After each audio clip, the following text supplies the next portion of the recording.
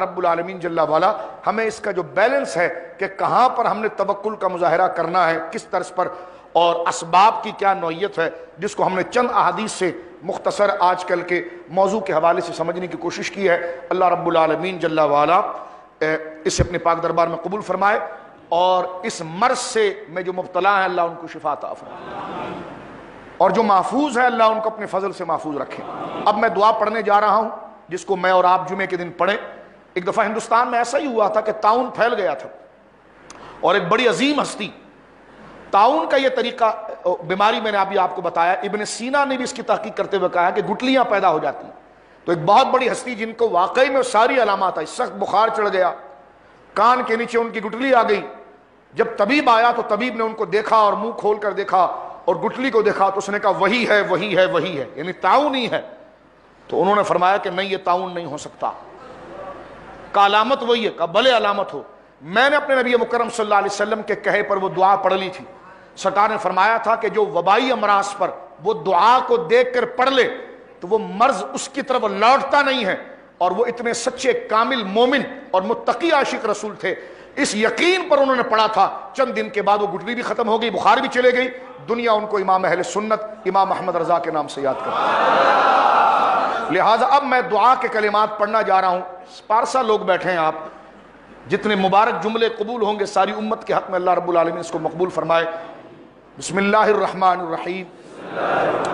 الحمد للہ آفانی ممبتلا کبھی وفضلنی علی کثیر ممن خلق تفضیلا۔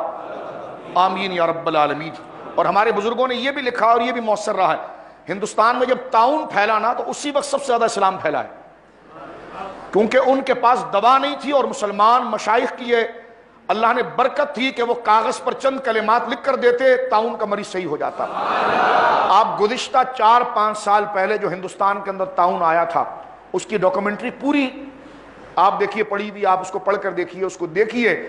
میرے دوستوں بزرگوں کثیر تعداد میں لوگوں نے کلمہ پڑھا اس لیے کہ اس کو اللہ رب العالمین نے اہل اسلام کے ذریعے شفا عطا فرمائی۔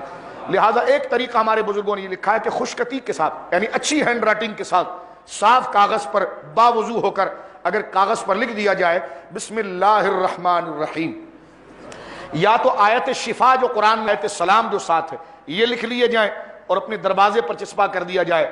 یا پھر باوضو ہو کر صاف کاغذ کے اوپر بندہ بسم اللہ الرحمن الرحیم لکھنے کے بعد یہ مقدس کلمات جو آپ کو وائرل بھی ہوتے ملتے بھی ہیں، یہ نیچے اچھی خوشخطی کے ساتھ یہ کسی بزرگ سے لکھوا لیے جائیں کہ لی خمستن اتفی بہا حر الوبا الحاطمہ المصطفیٰ والمرتضی وبناہما الفاطمہ۔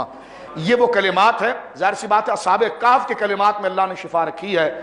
تو یہ سرکار علیہ السلاۃ والسلام کا خاندان ہے، سرکار کے اصحاب ہیں۔ یہ شفا میں مؤثر نہیں ہے۔ یہ شفا میں لینے کا سبب ہے، جس طرح دوائیاں شفا لینے کا سبب ہے، تو ان ناموں کو بھی اللہ رب العالمین نے شفا کا سبب بنایا ہے۔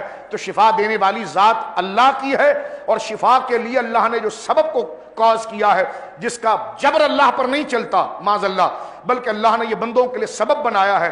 ان دوائیوں کے ساتھ ساتھ، ان وظائف کے ساتھ ساتھ یہ مبارک نام بھی ہے کہ وَنُنَزِّلُ مِنَ الْقُرْآنِ مَا هُوَ شِفَاءٌ لِلْ وما هو شفاء ورحمة لِلْمُؤْمِنِينَ۔ ایک دفعہ پڑھ لیجیے، تین دفعہ مل کر، سلام قولا من رب الرحیم سلام قولا من رب الرحیم سلام قولا من رب الرحیم آمین یا رب العالمین۔